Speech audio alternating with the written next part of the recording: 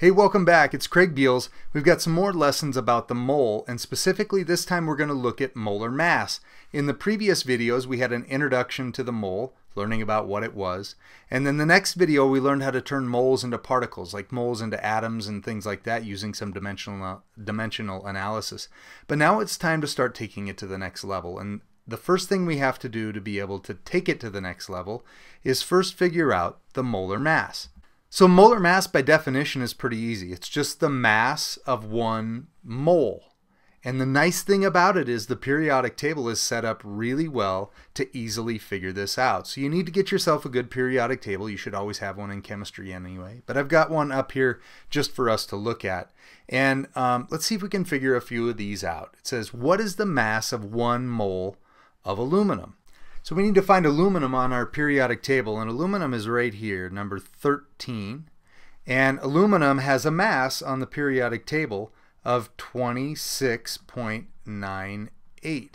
The great thing about this is that's also the mass of one mole. So we can do this, 26.98 grams of aluminum per one mole of aluminum. And here's the great thing that makes chemistry not the same as math. We're going to need to be able to do this later on with our um, mole ratios and our molar mass, but we can say that one mole of aluminum is equivalent to 26.98 grams of aluminum. So notice this molar mass between these two is interchangeable, and that's useful, useful when we get to dimensional analysis. Let's take a look at lithium. Lithium's over here. It's number three.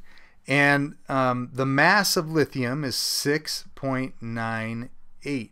Those are atomic mass units, but the nice thing about molar mass is we can just put grams of lithium and say that that is one mole of lithium.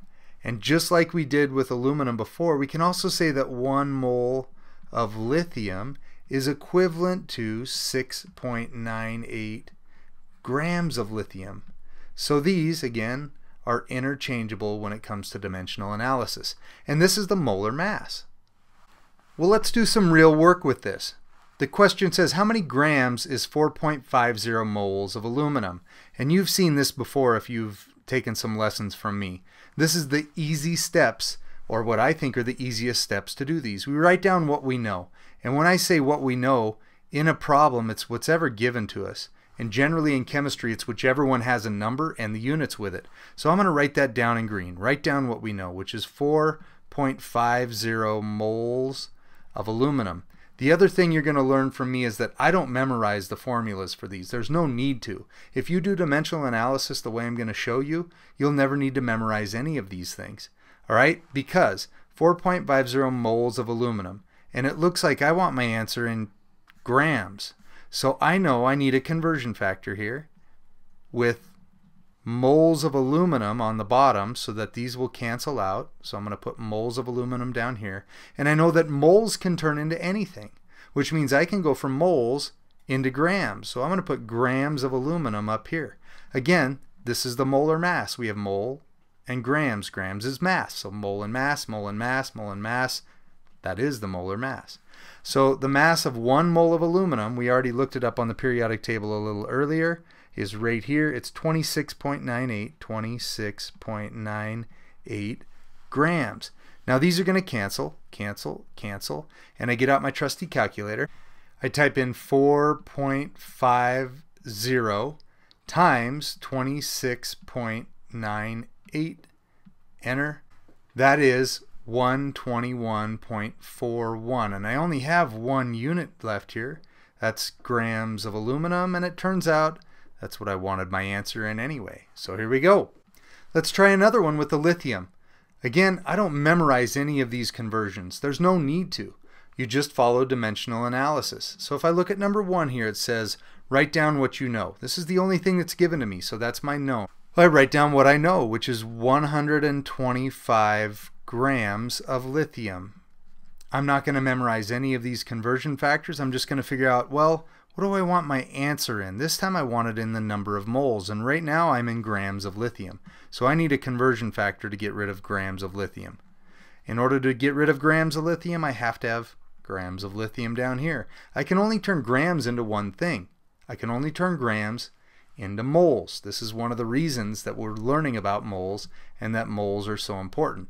So I can turn that into moles of lithium because I know that one mole of lithium is the mass of lithium, the mole and mass, mole and mass, the molar mass. Where do I get that? I get it on the periodic table and you'll need one you can see a little better than this. But the mass of lithium is 6.94 grams. And now look, I'm in moles of lithium and that's what I wanted my answer in. This is going to cancel. This is going to cancel. I take out my calculator, clear it out. I type in 125 times 1, but I don't need to do that. So I'm going to go straight to divided by 6.94, hit the enter button, and I've got 18.01. So my answer is 18.01. And what are my units? Moles of lithium, because that's all I have left, and that is what I wanted my answer in. Now let's look at this with compounds, because quite often we end up with compounds in here instead of just dealing with one element or one atom. So if I've got a compound, in this example down here, I've got sodium chloride. I need to add up the mass of all of the pieces of that. In sodium chloride, I have sodium, and I have one of them, and I have chlorine. And same thing, I look them up on the periodic table. Sodium is right over here, right there, sorry. And the mass of sodium is 22.98. And that's grams per mole. We know that, but I'm just going to leave it at 22.98. Chlorine is over here, number 17, and its mass is 35.45. 35.45. Now to figure out the mass of this entire sodium chloride, I just need to add up one sodium and one chlorine, which is 58.44 grams. And because this is technically the molar mass, it's grams of NaCl per mole or one mole of NaCl. Now you can see how this is going to be useful from the practice problems that we just did. This is one of those conversion factors that we're going to need to be able to get to our answer down the road. Let's take that to the next step. In the other example, we had just one mole. We were figuring out, figuring out the mass of one mole, but now we've got 2.25 moles. So how is this any different? Well, we go right back to our simple rules. Number one is I write down what I know, which is 2.25 moles, MOL, of NaCl. Now I don't want my answer in NaCl, I want my answer in mass, which is grams. So I need to get rid of the moles of sodium chloride. The way I do that, right here, conversion factor with moles of sodium chloride at the bottom, moles of sodium chloride down here, and I can turn moles into anything I want, which means I can turn moles into grams, because that's what I want my answer in, of NaCl. How do I do that? Well, I have moles and mass and moles and mass. That's molar mass. The molar mass, I've already calculated the molar mass on the last screen. The molar mass of NaCl was 58.44. So we have 58.44 grams of NaCl in one mole. Let's just take care of our accounting here, get rid of these moles, and I take 2.25 times 58.44, and I get 131.49. My units are grams of NaCl. Grams of NaCl. And that's what we wanted our answer in. So we're good to go. I wanted to make sure to include one that was a little more complicated, like aluminum sulfate. You can see this slightly more complicated molecule, but I wanted to show you how to calculate the mass of this. Well, if I'm just trying to figure out the molar mass, it's the mass of one mole, so I don't need to do any dimensional analysis. I just need to add up the parts and pieces of this. So let's do that. I've got aluminum, and I've got two of them. So I'm going to put a 2 in parentheses next to this because I need to times that by 2. Then I've got sulfate, SO4. I've got three sulfates. So when I figure this out, that means I've got three sulfurs. I'm going to put sulfur here, 3 next to it in parentheses to remind myself to times it by 3. And then I've got oxygen. Well, I've got four oxygens in this one sulfate, and I have three sulfates. So 4 times 3 is 12. So I've got oxygen, and I've got 12 of them. Now I need to look up the mass of each one of these and then multiply it. So aluminum, we've looked it up several times, is 26.98. 26.98 times 2. I'll get that in a second.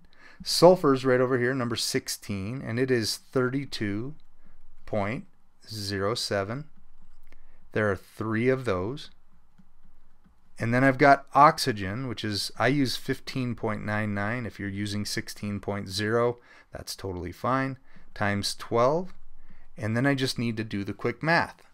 I've got all my numbers up here now, and I just need to add them together to get the overall molar mass of this entire molecule. When I do that, I get 342.05. And this is the molar mass, the mass of one mole.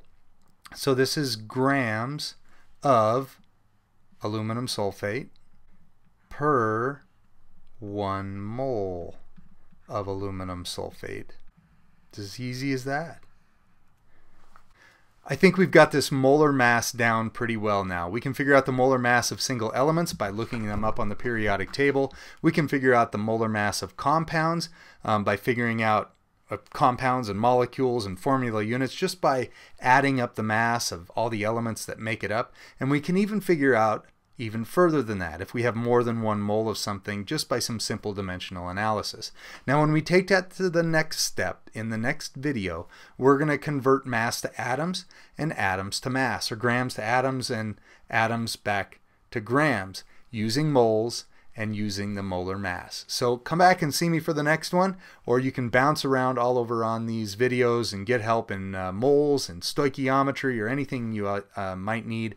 Also, come over and visit me at bealsscience.com where I've got explanations of all of this stuff and a whole lot more, including a whole bunch of explosions. But keep on learning.